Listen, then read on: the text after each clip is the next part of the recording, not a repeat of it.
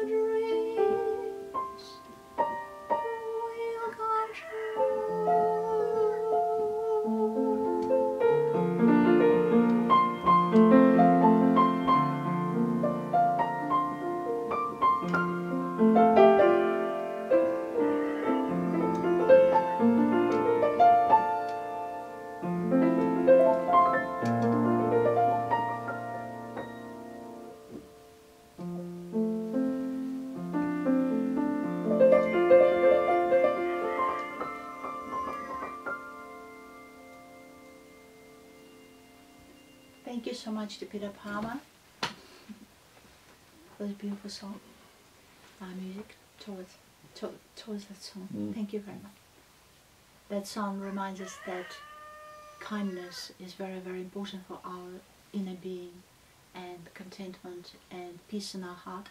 That is the most biggest of all the virtues, kindness, because uh, kindness is always pure and kindness is um, a quality what our beautiful animals have and birds Therefore, it said here, animals around loving us, loving us. They love us unconditionally, reminding us to slow down and learn how to enjoy the moment like they do. If you look at the cat, you can see that she's not worrying about her past and neither she's worrying about her future. She lives in that particular moment and she looks at you with these beautiful eyes and she melts your soul, correct? And so the same thing the dogs do. It's just incredible. They're really reminders for us on the planet Earth how to calm down and have inner peace in our hearts and don't worry about money because animals don't worry about their money. Mm, Can you hear? They did not Yeah. swap their souls for the sake of money. They're not compromising anything what they shouldn't do for the sake of money. So this money, they're not living in the money world, you see, and therefore you're straight away in heaven. Yeah, yeah. Yes. So it said here, they're always kind and they came from kind world of love and peace. And then that this song suggests us so you be kinder and gentler than them. So you need to learn how to be kinder than all your animals can be kind. Yeah. Because you're a human being, you have to be acquiring um, more kindness than what they have. And more gentler and kinder. And then all your dreams will come true and your heart will be filled with peace mm. and wisdom. And that's what the concept of the song. And I said here, kind words and actions purify your soul. Embrace true you. So it means be yourself and be kind. Even when people provoke you not to be kind, you still be kind. Even people provoke you to hate, you do not. You still be kind and you just simply don't be involved with these people. That's why we talk about how it's important to separate people from right and wrong. If they don't make you feel comfortable, if they make you feel stressed, you should not be with them. Why? Because they'll take all your peace away, they'll provoke you, and then they'll make you, um, you will feel afterwards not very happy. So, this song suggests us that we should look forward and shining in the dark. So our face should not be facing in the ground like that because we're not in jail yet. Like in jail when there's a law, like to look always on the floor. You have to do it. Yes? In jail. Mm, mm. But when we're now free and we've got so much to see, we've got the birds are singing, we've got trees, are good, there's a mountains, the hills, there's like sunshine. Of course our face go up. And also why our face should go up. Good for our head, number one. And we can see people Yeah, that- our eyes. right, yes. Can you see? Because if you have mobile in your hand, and if your mind goes always down here, you would actually looking down. In fact, mobile lures you to go down into the down position, so your head is always going down, and therefore you have a big pressure on your spine. Hmm. From here, you will not be having much wisdom because your head is always down. You're like suppressed. Uh, you know, like in jail, look down, don't look up. You're not allowed that. You're not allowed. So in this condition, I can't sing a song. You see, imagine if I sing a song Mm. uh, be happy and everything you do. Do you believe me? Can you see when I look down? Like imagine here's my mobile, and um, would you believe me? Would Would you believe me there? Do you believe me, No, Bishop? no, no. There's Exactly. No, no eye So contact at all. Yeah. So Yeah, when we look down at our mobile and a good, beautiful person with us, you see, we do not have contact because of that mobile, and we look down. So even when I have mobile down and you look down, or with mobile down, you still look down. So basically, uh, mobile provokes us to look down. Why? Because it here's a beautiful picture, and you like him want to look at it. You see, and then meanwhile you do not see the beauty around you. See that world is absent from you. You're missing it right now in that moment. But what kids and animals do, they actually see it right now, the whole thing. They, they see the big picture. That's why they have big eyes like that, and they're all. And they can see you from everywhere, and they can see the dangers already there, or the danger there. They're like, oh, well, look, they're also alert. And we also should be alert, because maybe somebody come to disturb our peace, correct? And we should be prepared. And so therefore, alertness um, is a great quality of animals too. They're showing us you must be alert, because maybe somebody going to do something very bad, or maybe somebody calling you for help, like a kitten maybe uh, somewhere there behind the fence stuck, correct? The only way you can look down, and we can get away with it, is when we go shopping at the supermarket. Sometimes you have to look down to get what you want to eat. Yes, but but I'm saying the general idea that you will not be. Um, some people think that when people tilt their head up like that, uh, they think you're proud. It's not about pride. It's about normal position of your head. You see, when the people stand straight, Like- that's like- just their like- completely normal position. It's completely normal position. And so what uh, we get um, taught through computers, mobiles, get like that, like that, like that. You see our head tilts on the floor. So when we look in the floor, we cannot see the real world around us and our mind um, become narrower. Uh, we can only see the be, floor. you've got to be reasonable about this too, because some people walk like this and they can't help it. They have to look down. So When they look up, they're like this. Therefore, suggestion for you while you're not really fixed with your back and you still Mm. can look up. Yeah. You look up, you look in the sky, you look in the clouds passing by, you look, you can see the birds, you, you can just be so much happier when you look up. And that gives you more creativity Yeah. and mind, um, clear mind. I, I know some people walk like this. Good morning. Everybody look And I'm not joking. But the point is there. that uh, watch your back, how Mm, um, mm. straight you stand, how deep you breathe, what's in your mind, and that's what we should be doing. We now, it said here in that song, living like walking in heaven on Mm. earth. In heaven there will be no mobiles. That's right. I, I had yeah. the most magnificent dream. Um, like I was, you know, looking at the big sea in the dream, and the waves were so beautiful and they were magnificent colors, and I was just like so amazed with that sea. And I was like not like on earth because when you see sea, it's miles away somewhere, and he was like it's so close but it's not touching you. And then somebody was talking to me. I'm not sure who it was. And, and I had company of somebody, you know, in heaven always when you have dreams, there's always somebody there with you, yeah? Um, somebody like assisting you. And um, and then I said, uh, and then they were talking to me. I don't remember about what, but something peaceful. And then when I saw this, I said, I'm going to get the, the camera now. I'm going to capture these waves. Mm. And you know what? I'm turning around and it's like a ladder there like this, uh, going to nowhere. And then I realized there's no camera in heaven.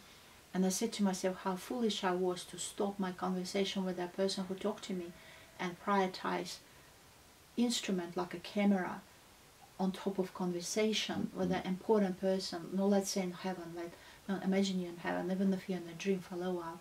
Can you see how when you put instrument, mobile, telephone, and you stop conversation with person who is with you and you're not focusing yeah. on it, you stop it straight away. Mm. And so when I said to the person there in the dream that I'm going to get the camera so I can photograph this beautiful water, conversation stopped and the person disappeared. It was the end of a dream. Yeah. So I realized that I'm addicted to my camera. Mm, mm, mm. I realized that one thing I have to be unaddicted from is my camera.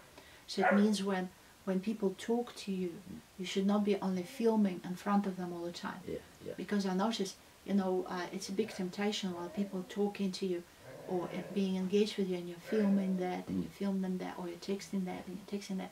You're not really engaged in conversation. So people really feel that you're withdrawing them from your um, audience. Yeah, yeah. So therefore, it's a good advice for you. I hope you can find it useful.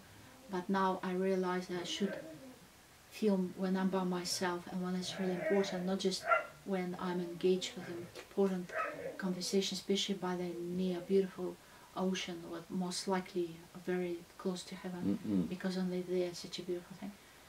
Yeah. And then I see the same sea, but all of a sudden it was not that clear and there's a big alligator in that sea. There's the biggest crocodile in the world. You can see, oh my god, like 50 meters long. And he's like waiting quietly on the shore. And before that, there was a person who was swimming there when the waters were clean. And I was like, oh my goodness, you can't swim here, you know? Mm. And then the alligator then slowly walked away, but amount and the size of the alligator was so huge. So, uh, dreams sometimes warning us that we should not be involved with negative people. Yeah. Why? Because they can uh, swallow us, swallow us Mm. In their sphere of negativity, and then you get stuck and you can't get out.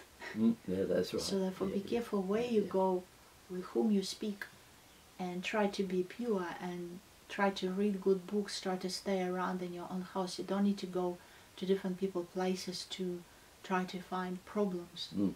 or expose yourself to more uh, pro- pro- problems, or just go for a dangerous bushwalk because you don't you can't guarantee your Yeah, yeah, safety. yeah. So you've got to be prudent, especially now, you know, in the 2024, and um, your purity comes number one priority. Your pure mind, your kindness, your love. So you have to um, look after it. It's just like a beautiful orchid flower in your room. You won't be just going and giving there and giving there and giving there and put in a storm and, and then Mm. put in a swearing company, a smokers company, You and a pubs company. in a lovely place. Yeah, you, Mm. exactly. You will actually find for orchid Mm. the most beautiful place and nobody can touch, nobody can break, and you like embracing it. So how much more you should embrace your own dignity and beauty and yourself and your integrity and everything, those qualities. So therefore, please look after it. That's the most important thing in your life, Mm. and then you'll be truly happy and um, truly achieving huge results. Thank you for listening. It was Yeah. Lyudmila Alexeyevna Worrall and Peter Palmer today in the studio. and the dogs were having their opinion And of too. course, my beautiful dogs. And they're actually waiting to have audience with me right now. They Thank want so they want to be on camera, you see. Yes, thank you. I've never heard them like that before.